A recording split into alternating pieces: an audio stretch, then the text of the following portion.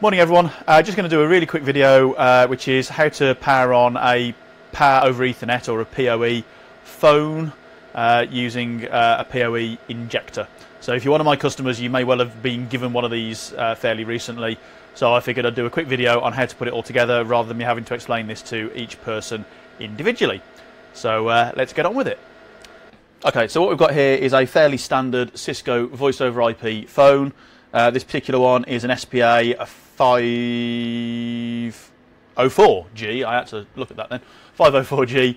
Um, uh, so yes, if you've been given one of these kits, the idea is that you will unplug your desk phone and take it home. So if you're going, if you're done for the day, or you're not coming back to the office, um, you're self-isolating, whatever, grab your phone, unplug the network cable, take it home with you with this kit. Um, and I'm just going to show you quickly how to plug it all together. So you have a power over Ethernet adapter. So this is the bit that's going to do the magic. So there's two network sockets there and there. There's a power socket there. And then on this particular one, there's an indicator light there as well. They, they, might not all have that indicator light on. Don't know if you can see that. Uh, there we are. Um, but most of them do. So the simple bit, the first bit.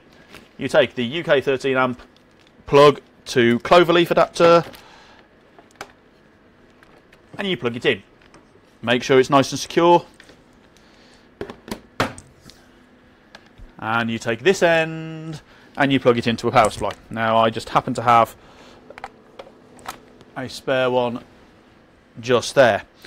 Um, you'll now see that the indicator has lit up on there. You then take one of your cables. Now I need to find some longer cables for customers who are waiting for me to do that.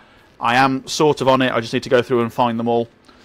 Um, so one end of this cable goes into your router. Now, my router is sort of over that way about five meters. So what I'm actually going to do is I'm going to plug this into one of my network switches. It's just out of shot there.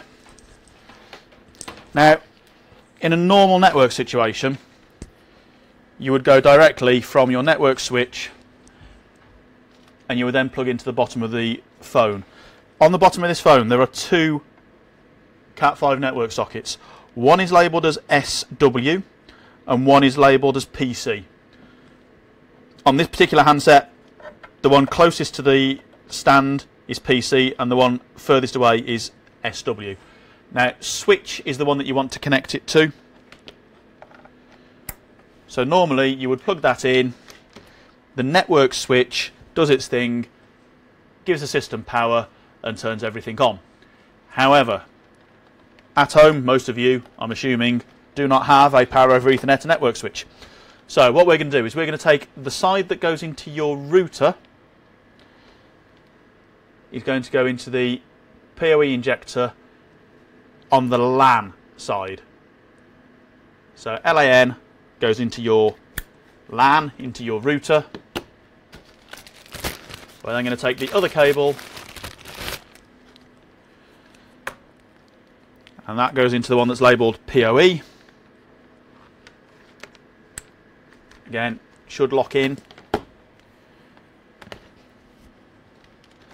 And that one goes into bottom of the phone, again into the SW socket and that will have exactly the same effect. The phone, get that so the, so the camera can see it.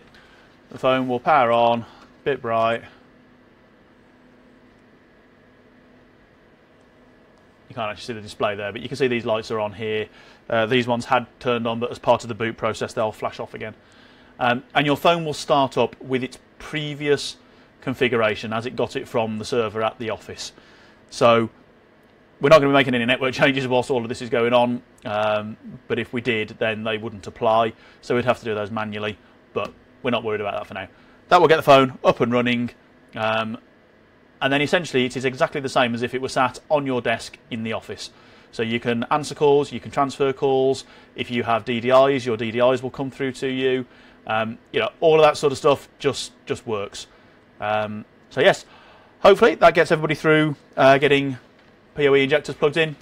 Um, and I am going to be looking for longer cables. They are over there somewhere in my office. Um, I just need to go and dig them out. They're in a big pile at the moment. Uh, cool. I'll speak to you guys uh, again soon.